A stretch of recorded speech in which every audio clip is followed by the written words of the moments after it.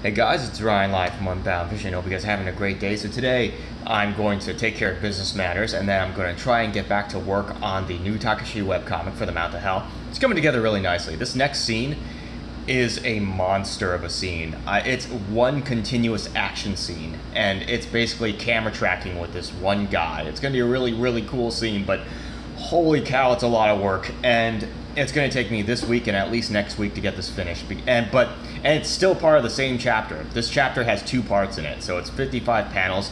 I'm at 44 panels done, uh, but I still have quite a few panels to do, and these last panels are the hardest panels to do, and you'll see exactly what I'm talking about when it's released.